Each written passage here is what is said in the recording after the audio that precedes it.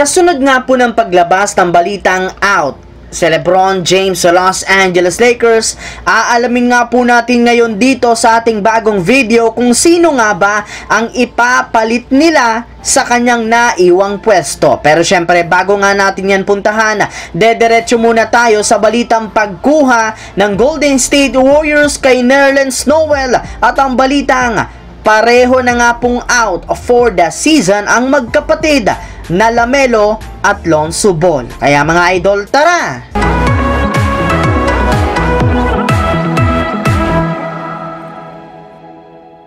Ayon nga po mga idol sa inilabas na balita ni Adrian Wojnarowski ng ESPN, ngayong araw tuluyan na nga pong na-buy out ng Detroit Pistons ang kontrata ni Nerlens Noel kaya magiging isa na nga siyang ganap na free agent kung saan pwede na nga po siyang pumili ng bagong team na kanyang gustong salihan. At isa nga po sa mga pinaniniwala ang team na posibleng kumuha sa kanya sa buyout market ay walang iba kundi ang ating defending champions na Golden State Warriors. Alam naman nga po ninyo, sobrang nangangailangan para naman nga po ngayon ng Warriors ng isang big man na magpapalakas ng kanilang front court at isa nga po si Nerlens Noel sa mga pinakamagaling na center na available ngayon. Kaya hindi na nga daw ito palalagpasin pa ng Warriors. Samantala, dito naman tayo pumunta sa ating pangalawang storya sa balitang parehong out na nga daw for the season ang magkapatid na Lamelo at Lonzo Ball. Medyo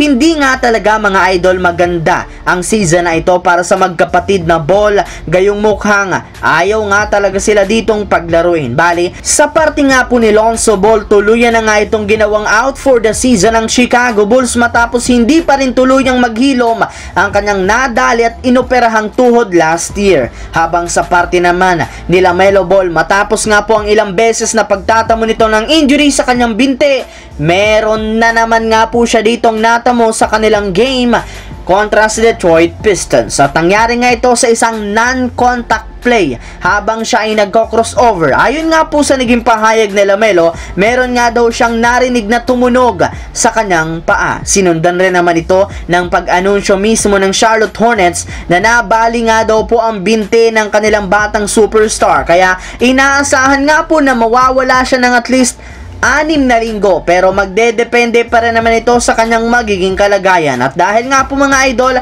napakababa na rin naman ang tsansa na ng Hornets na makapasok pa sa playoffs ay mukhang gagawin na nga nila itong out for the season. Samantala pumasok naman tayo sa sinasabing posibleng ipapalit ng Los Angeles Lakers kay Lebron. Naibalita ko nga po sa inyo hindi na nga makakapaglaro pa si Lebron James sa kanilang susunod na game kontra sa Memphis Grizzlies Grizzlies at inaasahan nga po na mawawala pa ito ng multiple weeks sa kanilang lineup. Kaya marami nga po mga fans ang nawawala na ng pag-asa ngayon. Ngunit napakalalim para naman nga po mga idol ng lineup ngayon ng Lakers kaya sigurado nga makakahanap para naman sila ng papalit sa kanyang pwesto. At base nga po sa inalabas na balita, inaasahan nga po na si Rui Hachimura ang papalit muna sa pwesto ni Lebron sa kanilang starting lineup simula sa kanilang susunod na laban kontra sa Memphis Grizzlies. So yun lamang mga idol ang ating bagong video na ating pinagkwentuhan ngayon dito sa aking YouTube channel. Once again, This is your J-Zone TV. Don't forget to subscribe at syempre pindutin ang notification bell sa akin channel. I-follow nyo na ang ating Facebook page, J-Zone TV at isang malaking shout out sa lahat ng Solid J-Zone TV na mga taga Palawan at syempre mga taga Laguna. Thanks for watching mga idol.